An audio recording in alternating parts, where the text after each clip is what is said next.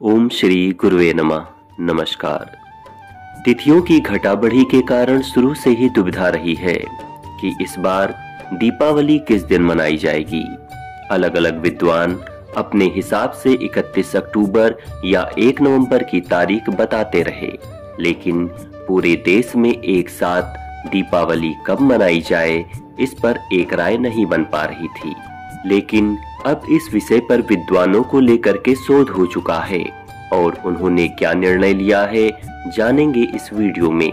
दीपावली एक ऐसा त्योहार है, जिसका सभी को पूरे साल बेसब्री से इंतज़ार रहता है। दीपावली पूरे पाँच दिन का उत्सव है, जो कि धनतेरस से लेकर भाई दूज तक मनाया जाता है। आइए जानते हैं, इस पाँच दिवसीय दीपोत्सव पर्व में किस दिन कौन सा पर्व मनाया जाएगा? शुरुआत करते हैं प्रथम दिन के पर्व धनतेरस से। धनतेरस कार्तिक मास के कृष्ण पक्ष की त्रयोदशी तिथि को मनाई जाती है। इस साल धनतेरस 29 अक्टूबर मंगलवार को मनाई जाएगी। इस दिन सोने चांदी के आभूषण और नए बर्तन खरीदने की परंपरा वर्षों से चली आ रही है। धनतेरस का पर्व भगवान धनवंतरी की जयंती के रूप में मनाया जाता है। इस दिन धन के देवता कुबेर जी के साथ ही धन की देवी माँ लक्ष्मी और गणेश जी की पूजा की जाती है। ऐसी मान्यता है कि धनतेरस के शुभ अवसर पर घर में नई झाड़ू और धनिया लाने से माँ लक्ष्मी प्रसन्न होकर पूरे साल धन समृद्धि बढ़ाती हैं और कृपा बरसाती हैं। छोटी दीपावली, हनुमान जयंती और नरक चतुर्दशी का पर्व।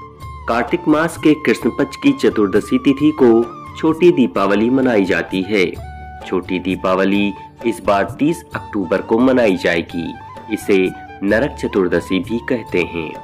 इस दिन पौराणिक मान्यताओं के अनुसार हनुमान जी की जयंती भी मनाई जाती है।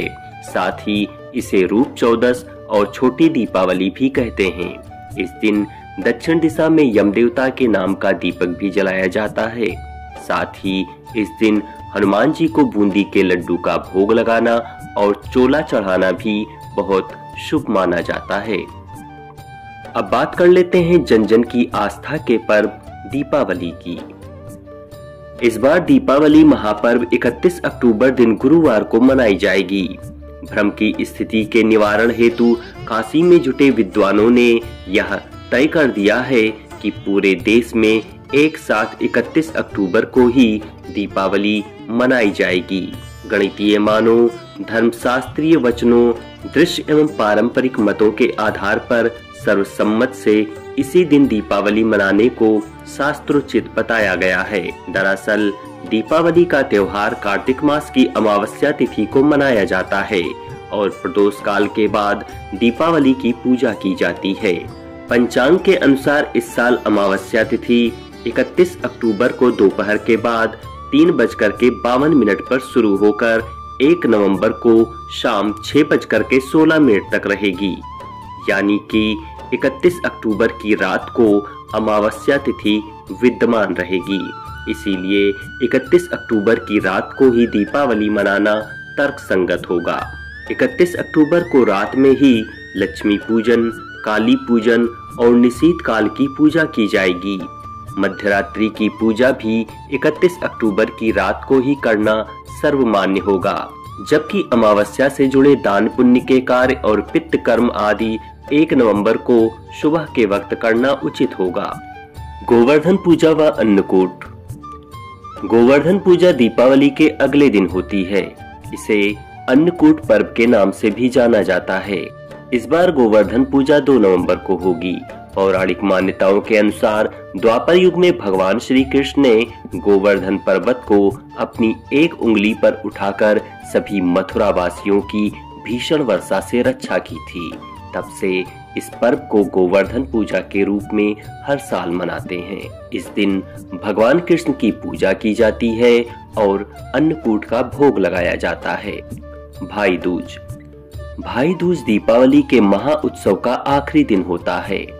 कार्तिक मास के शुक्ल पक्ष की द्वितीया को भाई दूज का पर्व मनाया जाता है। इस साल भाई दूज तीन नवंबर को मनाई जाएगी। इसे यम द्वितीया भी कहते हैं। इस दिन यमराज अपनी बहन यमुना से मिलने पृथ्वी लोक पर आए थे और बहन यमुना ने अपने भाई को तिलक करके उनके मंगलमय जीवन की कामना की थी। तभी से हर साल इस शुभ मौके पर बहनें अपने भाइयों को टीका करती हैं और उनकी दीर्घ आयु की कामना करती हैं।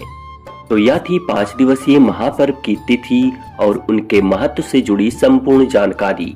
उम्मीद करता हूँ कि आपको यह जानकारी ज़रूर अच्छी लगी होगी। अगर हाँ तो वीडियो को लाइक करें और ज़्यादा से ज़्यादा लोगों को शेयर करें। साथ में कमेंट में यह वीडियो आप कहाँ से देख रहे हैं, यह हमें ज़रूर बताएँ। शीघ्र मिलेंगे एक नई वीडियो में। कुछ नई जानकारी के साथ। तब तक मैं विवेक कुमार श्रीवास्तव आपसे विदा चाहूँगा। धन्यवाद।